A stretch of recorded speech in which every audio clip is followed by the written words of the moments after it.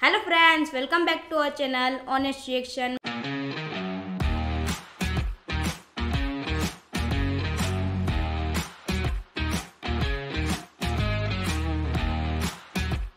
My name is Bhavesh. और मेरा नाम है जगदीश और आज हम जो वीडियो देखने वाले हैं वो है हमने कुरान को कितनी इज़्ज़त दी है इंजीनियर मोहम्मद अली मिर्ज़ा का वीडियो है अ, मेरे पास रिक्वेस्ट आई थी इंस्टा पे अ, मेरे पास अब काफ़ी सारी रिक्वेस्ट आ रही है और मैं लैक ऑफ़ टाइम काफ़ी सारी वीडियो हम कर नहीं पाते हैं। तो मुझे लगता है कि एक एक वीडियो को हम आराम से देखें और जितनी भी रिक्वेस्ट आई है तो we will definitely react on that video तो सब्र आप कीजिएगा। मेरे पास काफ़ी फ्रेंड के मैसेज आ रहे हैं तो मैं बिल्कुल सारे वीडियो को देखूँगा और जो वीकेंड्स होंगे उस पर मैं लगभग लगभग सारे वीडियो को हम देख ही लेंगे ना? तो उससे इतने सारे वीडियो को देखने से एक निष्कर्ष भी निकलता है एक क्या निकल निष्कर्ष को क्या बोलते हैं उर्दू में फल। फल नहीं है मतलब रिज़ल्ट बोल सकते हैं अपन। ये एक बहुत चीज़ों को मिला के एक उसका कंक्लूजन निकलता है। समथिंग यही वर्ड होगा मेरे हिसाब से। तो उससे हमें एक समझने में सीख मिलती है क्योंकि आज की दुनिया में अ, हम बिना पढ़े बिना समझे किसी भी चीज़ पे उंगली उठा देते हैं तो ये चीज़ गलत है वाकई में। तो अब धीरे धीरे काफ़ी चीज़ें हमें पता भी चल रही है। तो अ, एक वीडियो और देख लेते हैं इसमें लिखा है कुरान के बारे में। ओके तो शुरू करें वीडियो? yes. तो वीडियो शुरू करने से पहले आपसे बिल्कुल आपसे रिक्वेस्ट है प्लीज़ चैनल को आप सब्सक्राइब कर लीजिएगा और आपने सब्सक्राइब कर लिया है तो प्लीज़ वीडियो को लाइक कर एक लाइक तो बनता है और बेल आइकन पे क्लिक कर लीजिएगा ताकि हमारे आने वाले वीडियो का नोटिफिकेशन आपको सीधा मिल जाए। ओके तो शुरू करें वीडियो। कसम है उस रोशन किताब की। इस रोशन किताब से मुराद कुरान भी हो सकता है और लोहे महफूज भी क्योंकि कुरान हकीम उसी लोहे महफूज का हिस्सा है।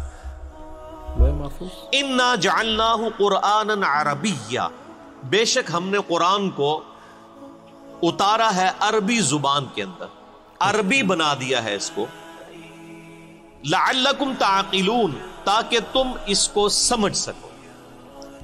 तो कुरान हकीम का अरबी में आने का मकसद क्या है? कुरान हकीम को समझ सको। यानी कुरान का प्राइमरी मकसद इसकी तलावत करना नहीं है। इसको चूमना चाटना नहीं है बल्कि समझना है। ये कितनी हैरान कन बात है कि कुरान हकीम दुनिया में सबसे ज़्यादा पढ़ी जाने वाली किताब है। लेकिन इसका तारीख पहलू यह है कि कुरान हकीम दुनिया में सबसे ज़्यादा बगैर समझ के पढ़ी जाने वाली किताब। ओके इतनी ज़्यादा कोई ऐसी किताब नहीं जो बगैर समझ के पढ़ी जाती। आपको आपका कोई दोस्त इंग्लैंड जाके इंग्लिश में खत लिखे और आपको इंग्लिश ना आती हो तो आप कई लोगों से कोशिश करेंगे कि यार ये जो इसने खत लिखा है मुझे पता चले मेरे दोस्त ने मेरी तरफ़ क्या रवाना किया। लेकिन कुरान इतनी मजलूम किताब है कि ये क्रिएटर ऑफ़ द यूनिवर्स इस कायनात के बनाने वाले ने आपकी तरफ़ अपना आखिरी पैगाम भेजा है इंसानियत की तरफ़ कि जिसके बाद अब कोई पैगाम नहीं आना। अरबी ज़ुबान में नाजिल किया लेकिन हमें कभी तोफीक नहीं हुई इसका तो हमें तर्जमा करवाने की भी ज़रूरत नहीं है। अ, अल्लाह ताला ने ऐसे इसबाब पैदा किए कि इस वक्त दुनिया की जितनी भी मेजर जुबानें हैं, उनमें कुरान हकीम का तर्जुमा हो चुका है। इंग्लिश में हो गया तो आप समझ लें पूरी दुनिया का हो गया। ऐसे सॉफ्टवेयर अवेलेबल हैं जिनमें आप इंग्लिश तर्जुमा डालें तो दुनिया की हर ज़ुबान में उसको तर्जुमा कर। उर्दू में तर्जुमा हो चुका है। हिंदी में हो चुका है। चाइनीज़ लैंग्वेज में, फ्रेंच के अंदर मलाई लैंग्वेज के अंदर।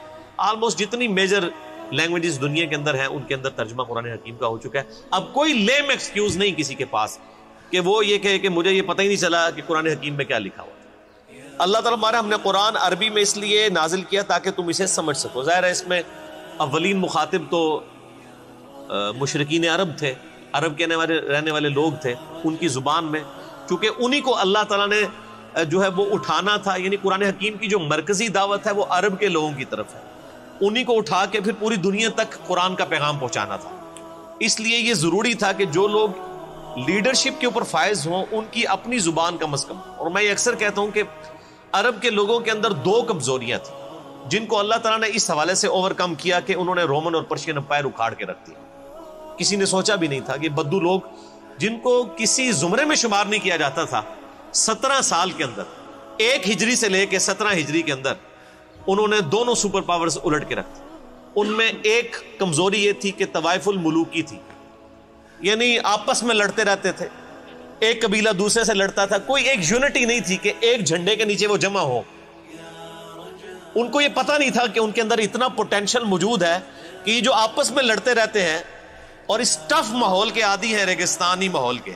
और रोमन और पर्शियन अंपायर जो कि सदियों से दुनिया पे हुकूमत करते हुए एक समझ लें, उन्होंने एक कंक्लूड कर लिया कि हमें तो कोई डिफीट कर ही नहीं सकता। वो एक आज के दौर के एतबार से समझें कि वो एक फार्मी किस्म के लोग बन चुके हुए थे। एसियों में रहने वाले, अरब के लोग टफ माहौल के आदि, रेगिस्तानी, ठीक है, इतनी मुश्किल ज़िंदगी गुजारने वाले लोग। लेकिन कमज़ोरी यह थी कि तवायफुल मुलूकी थी। अगर कोई एक शख्स ऐसा उनमें मबूस होता, जो उनको एक झंडे के नीचे जमा कर देता तो वो सारे लोग इतने टफ माहौल के आदि लोग, वो इस काबिल थे कि वो रोमन और पर्शियन अंपायर को उलट सकते थे। और वो अल्लाह ताला ने अपना पैगंबर उनमें मबूस कर दिया सल्लल्लाहु अलैहि वसल्लम। दूसरी उनके अंदर खामी थी कि वो उम्मी थे, अनपढ़, जाहिल, उजड। उनको ये नहीं ये निटोरियस वर्ड के तौर पे कहा जाता था, ये अनपढ़ है को तो पता ही नहीं किसी चीज़ का। इसकी वजह से जो अहले इल्म थे, उनकी बड़ी धाक होती थी अरबियों के ऊपर। जो अरब के यहूद थे, वो उम्मीन को इसी चीज़ के टॉन्ट करते थे, तुम तो अनपढ़ जाए लोग तुम्हें तो पता नहीं, हम तो किताब हैं, हम अहले किताब हैं, किताबों वाले हैं। अल्लाह ताला ने उनको किताब फिर ऐसी दे दी, जो उन उम्मीन की अपनी ज़ुबान में थी।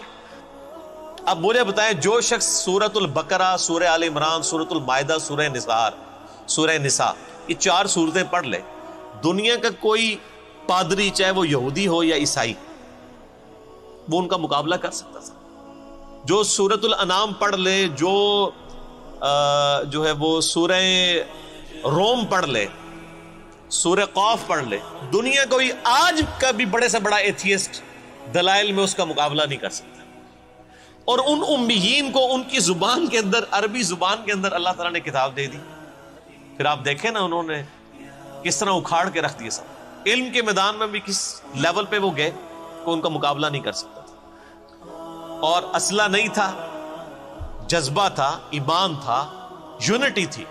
रोमन और पर्शियन अंपायर के असले उन्होंने उन्हीं से लूट के उनकी अंपायर्स को उलट के रख दिया। विद इन सेवनटीन ईयर्स ये बहुत बड़ा इनकलाब है।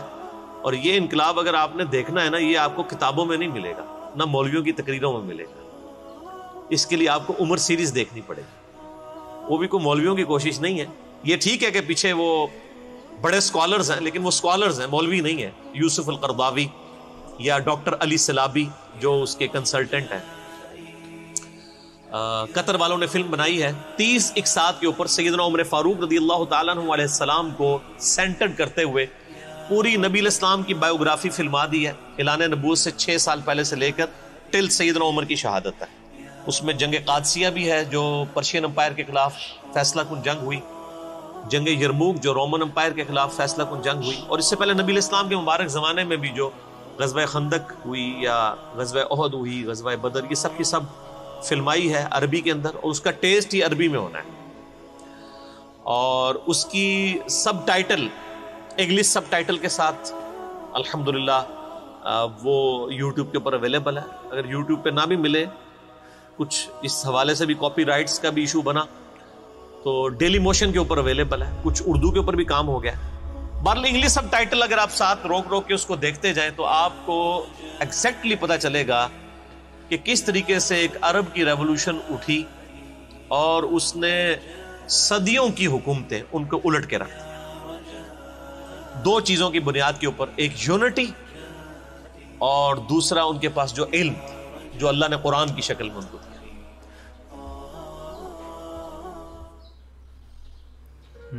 ओके तो हाँ बाबू समझ में आया कुछ?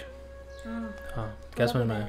थोड़ा थोड़ा क्या है थोड़ा थोड़ा? शुरू में इन्होंने बोला वो ट्रांसलेट वाला गूगल वाला। हम्म, और प्रॉपर इन्होंने अरबियों के बारे में बताया। हम्म, इधर आके बोलना। अरब के बारे में बताया। हाँ। तो पहले रेगिस्तान में भी रह पाते थे लेकिन अभी अभी के ज़माने में वो एसी में रहते हैं। कौन? अरब अरबी लोग। अच्छा ये समझा इसने हाँ ठीक है। और वो लास्ट में बोला इन्हों पहले के जो लोग थे हम्म। उनसे अभी से काफ़ी अलग है। हम्म, ठीक है। ये नहीं बोला था ऐसे में रहते हैं। यूँ बोला था कि जो रशियन एम्पायर है वो उस हिसाब से रहते थे मानो आज के लोग ऐसे में रहते हैं। और जो अरब के लोग थे वो टफ माहौल में रहते थे गर्मी में रहते थे। तो मज़बूत कौन होगा? अरब वाले। जो ऐशो आराम से रह रहे हैं वो इतनी टफ लाइफ अ, मतलब जी नहीं पाते हैं फैस नहीं कर पाते हैं। इसलिए फिर अ, और अ, उनके बारे में बोला कि वो इतने पढ़े लिखे भी नहीं थे उनके पास यूनिटी नहीं थी। फिर उनके पास यूनिटी आई और फिर उनके पास कुरान आई तो उनके पास नॉलेज भी आया अकॉर्डिंग टू दिस वीडियो तो उसके बाद उन्होंने जो पर्शियन एम्पायर है और रोमन एम्पायर है उन पर फतह किया मात्र ओनली सेवनटीन ईयर्स सत्रह साल के अंदर। तो ये ये बोल रहे हैं बहुत बड़ा इनकलाब हुआ था उस समय। तो वो उस समय उस दौर में है तो कतर में कोई शायद फ़िल्म डॉक्यूमेंट्री समथिंग लाइक ऐसा बना है तो उन्होंने पूरा दर्शाया है उसमें ये भी उन्होंने बताया। तो यूट्यूब पे मिले नहीं कुछ भी है। कुछ तो ऐसा कोई कंटेंट हो तो मुझे प्लीज़ भेजिएगा और शुरू में उन्होंने कुरान के अलावा भी किसी एक किताब का नाम लिया था। तो वो क्या था वो भी आप प्लीज़ बताइएगा। बाकी ओवरऑल उन्होंने समझाने की कोशिश की है। कि जो कुरान है उसकी इज़्ज़त क्यों करनी चाहिए? कि उनको क्या दिया है? कभी कभी हमें होता है कि हमें बिना मांगे काफ़ी सारी चीज़ें मिल जाती है हम उसको थैंक नहीं कर पाते हैं उसकी इंपॉर्टेंस समझते नहीं है। तो उस लाइफ में सबसे पहले हमें वही चीज़ समझनी होती है जो हमारे पास है और उसकी हमारी लाइफ में क्या इम्पोर्टेंस है। अगर हम्म, अगर अंधे अंधे के पास आँखें नहीं है तो उसको मलाल रहेगा कि उसके पास आँखें नहीं है। पर मेरे पास आँखें हैं तो मुझे मेरी आँखों का ध्यान रखना काफ़ी ज़रूरी है। क्यों? और इसकी इम्पोर्टेंस समझनी चाहिए हमें।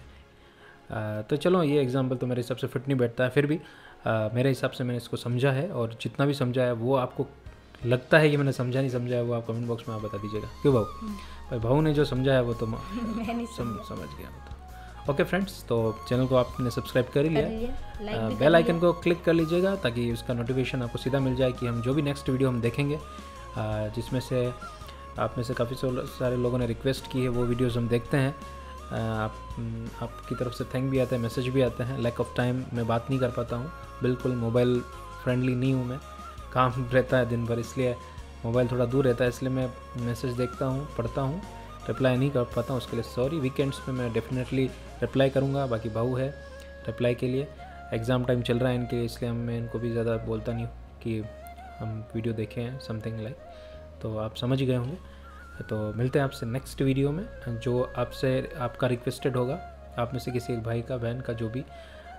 ओके हम्म, जल्दी करेंगे ओके तो अपना बहुत ख्याल रखिएगा। मिलते हैं आपसे नेक्स्ट वीडियो में। तब तक के लिए बाय